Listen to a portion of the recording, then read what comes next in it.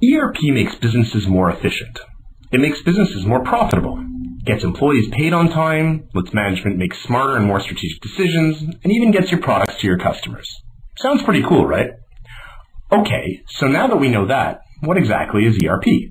ERP is Enterprise Resource Planning. Easy enough. We can all go home happy.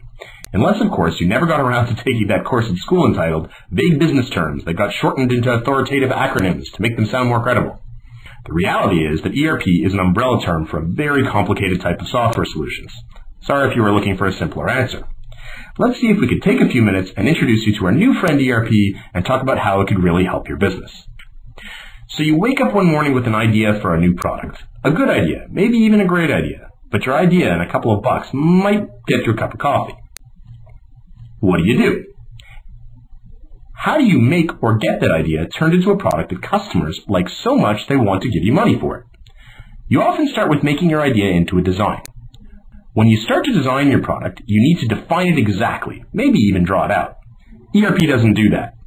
What ERP does do is to help you start compiling a list of all the materials you'll need if you ever want to eventually build your product.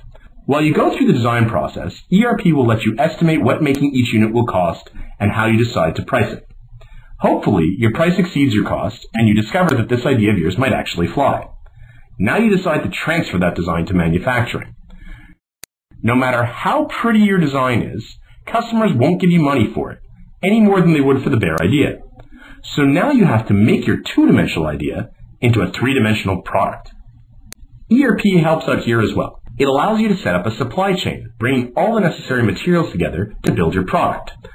Vendors from all over can be accommodated by ERP, which can send them purchase orders for those materials. When the materials are ordered, the schedule for their delivery, shipment instructions, payment for these materials, and eventually their arrival and receipt can all be handled by our new friend ERP.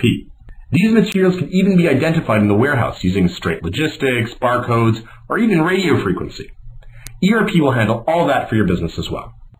Maybe your original idea was not to make or design your product, but buy it from somewhere else and distribute it into a new market. ERP doesn't mind. It will take care of you all the same, tracking your inventory of raw materials or bought goods for resale without showing any favoritism. While all this making or buying is going on, you've sent out a sales team to find those customers out there who desperately want to give you money in exchange for your brand new product. Their job is to get those orders rolling in. Your ERP will obviously take care of those orders, but can also keep track of the salespeople's territories and their commissions. And then the day arrives. Customers appear over the horizon, eagerly waiting to give your product a new home on their shelves. ERP will welcome those customers in and take all their information for them. It will help you keep track of all their many wants and needs, including the fact that they want your product to be customized just for them. And when they say the check is in the mail, you could trust their credit for 30 days to the extent of $200,000.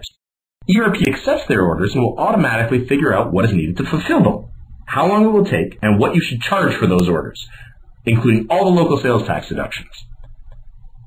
In the case of really big and demanding customers, using something called EDI, an ERP will often include an electronic data interchange module as well. ERP will help you fulfill those orders, if you're in the distribution business, ERP will tell you how much inventory you have on hand, where it is physically sitting, and give your packers instructions on what to pick and put into the containers for those customers. ERP will arrange the shipments to get your product to your customer, fill in the paperwork for you, even the custom stuff to get it over national and international borders. ERP also determines what each of your packers get paid, writes the checks, and makes automatic deposits for them. If you actually manufacture the products you are selling, ERP will translate sales orders into detailed work orders, outlining each step of putting your product together. How much material it will take, the labor involved, quality assurance processes, and even what tools or machines are needed in the manufacturing. It will pay your production staff by the hour, or maybe by the work done, or even a mix of both. ERP knows what your team knows and makes sure that people are assigned to jobs that they are trained for. It will track where the finished goods go and how they eventually get put into containers to fulfill orders and then shipped, just like with distribution.